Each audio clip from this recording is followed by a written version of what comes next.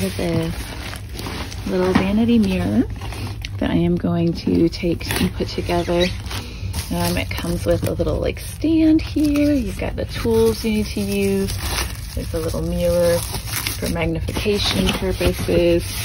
And we're gonna go ahead and set it up so you can see the, the bottom of the mirror. You'll have screws along the way. You're gonna wanna take those off so that you can then put the um, thing, little base stand on and then we'll rescrew it back on. So here it is. I'm gonna take this little plastic cover off from it.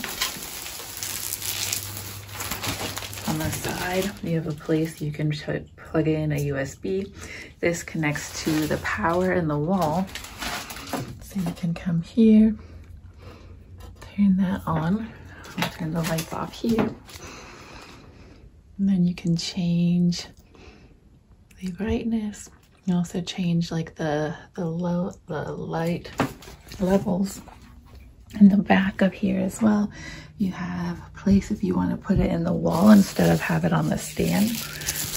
And then it also comes with the little magnification.